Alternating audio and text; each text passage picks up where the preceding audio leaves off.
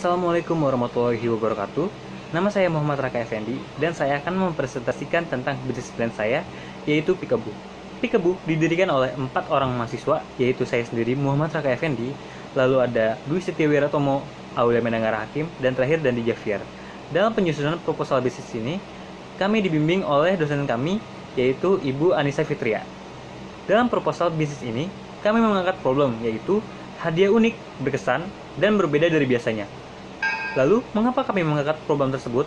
Karena menurut pandangan kami, banyak orang, terutama para remaja, ingin memberikan kado yang unik dan spesial untuk orang-orang terdekat mereka. Namun, terbatas oleh budget dan pilihan yang tersedia. Sehingga, kami menawarkan tiga solusi. Yang pertama ada wishing jar, yang merupakan toples yang diisi dengan 365 harapan-harapan serta kata-kata indah yang bisa disesuaikan dengan permintaan customer. Lalu yang kedua ada Magic Box yang merupakan pop-up box tiga dimensi yang berisi kartu-kartu ucapan yang didekorasi indah sesuai dengan permintaan customer. Dan yang terakhir ada pop-up card yang merupakan kartu ucapan tiga dimensi.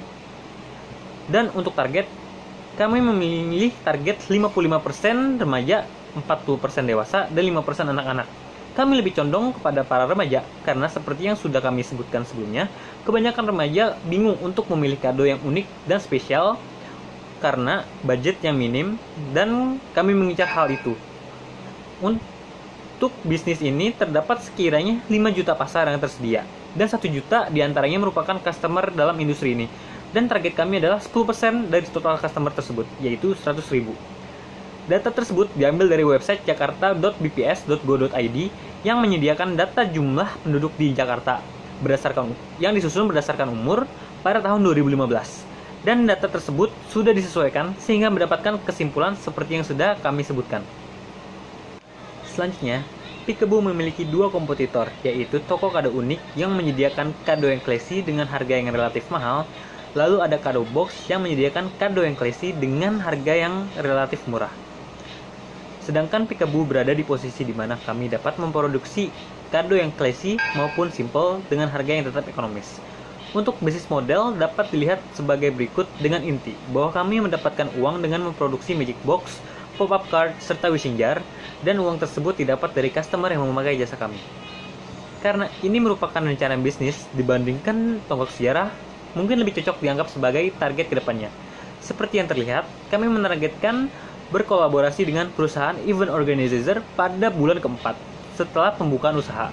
Dan pada bulan keenam, kami akan melakukan pengembangan dan peluasan produk dan pada bulan ketujuh kami akan mulai memperbanyak pembukaan toko online di berbagai macam platform aplikasi belanja online.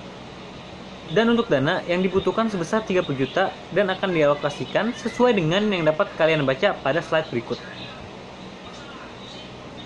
Dan untuk marketing and customer acquisition, pertama, kita akan menciptakan customer engagement yang kuat dengan cara melakukan program loyalty, meningkatkan customer service, dan melakukan giveaway kepada customer kita yang ada. Sehingga akan menciptakan customer loyalty dan setelah kita mendapatkan customer loyalty, kita akan melakukan referral dari existing customer dengan cara memanfaatkan word of mouth dari customer sebelumnya, menciptakan konten yang bersifat user generated dan melakukan social proof di media sosial sehingga kita dapat menghasilkan customer baru dan akan dilakukan berulang-ulang dengan cara yang akan disesuaikan.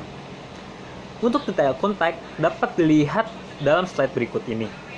Dan dengan ini saya mengakhiri presentasi dari saya kurang lebihnya mohon maaf. Wassalamualaikum warahmatullahi wabarakatuh.